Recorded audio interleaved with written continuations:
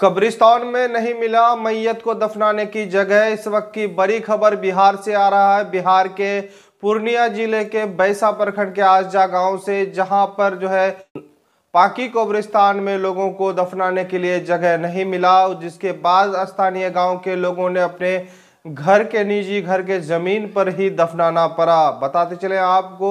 लगातार जो है वहाँ पर नदियों का कटाव हो रहा है और नदियों के कटाव से वहाँ पर जो आजा गाँव का कब्रिस्तान है वो समा नदी में समा जाने के कारण वहाँ के लोगों को काफ़ी दिक्कत का सामना करना पड़ रहा है। हम लोगों का कब्रिस्तान पहले से था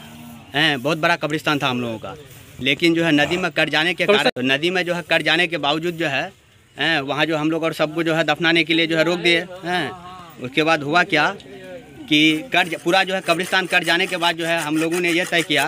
कि बगल में जो है आए, पाँकी कब्रिस्तान है, जो कि बिहार सरकार है और लगभग बारह, तेरह तेरह एकड़ में है। तो हम लोगों ने जो है मिल के सी साहब के यहाँ आवेदन दिए कि हम लोगों का जो है कब्रिस्तान नदी में पूरा विलीन हो चुका है और हम ही लोगों का बगल में जो कि कनफलिया ही पंचायत है और मौजा भी कनफलिया है। और हम लोग उससे सटे हुए हैं सटे हुए हैं तो हम लोगों ने जो है सीओ के साथ जो है सीओ के पास जाकर के जो है आवेदन दिए कि हम लोगों को जो है कब्रिस्तान का जो है व्यवस्था जो है दिया जाए हैं तो हुआ क्या कि टाइम पर टाइम देते हुए जो है सभी दोनों पक्षों की तरफ़ से जो है एक सौ सात कर दिया हम लोगों पर हैं उसके बाद फिर हम लोगों ने जो है अनुमंडल जाकर के जो है एच के यहाँ जाकर भी आवेदन दिए तो एच जो है हम लोगों को टाइम दिया ठीक है टाइम देने के बाद हुआ क्या कि जो है दोनों पक्षों को बुलाए भी बुलाने के बाद जो है वहाँ एच मैडम जो हम लोगों को ये बोली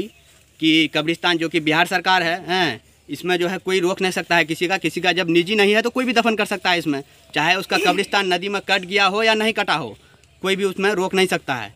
तो उसके बाद जो है हम लोग जो है पूरा घर आ गए और हम लोग सोचे कि हम लोगों का मामला सॉल्व हो गया, लेकिन इसके बीच में जो है आज हुआ क्या कि अचानक जो है एक मैयत हो गई, हैं तो हम लोगों ने सोचा कि जो है पाकि कब्रिस्तान में जब दफन करेंगे तो एच से एक बार बात कर लेते हैं हम लोग।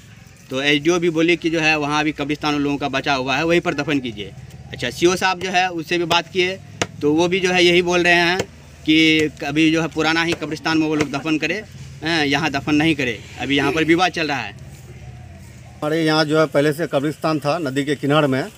वो जो है पूरा नदी में समा गया अब कोई कबर देने का लायक नहीं है। इसलिए हम लोग जो है प्रशासन से बहुत मांग किए कि हम लोग को चाहिए कहीं पर लेकिन प्रशासन ने हम लोग को नहीं दिया। आज तक कोई सुनवाई नहीं हो रहा इसलिए हम लोग जो अपने जो घर है अपने घर के ही बगल में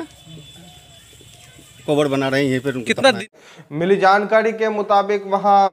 वहाँ बगल में ही पाकी कब्रिस्तान है और पाकी कब्रिस्तान में लोग जो है अपने मैयत को दफनाने के लिए चाह रहा है लेकिन वहाँ पर दफनाने नहीं दिया जा रहा है। क्या है पूरा मामला? पूरा खुलासा करेंगे लेकिन बताते चले वहाँ के लोगों का कहना है कि भूमिहीन लोग रहते हैं, चूँकि वहाँ के लोगों का, अधिकतर लोगों का जो है ज़मीन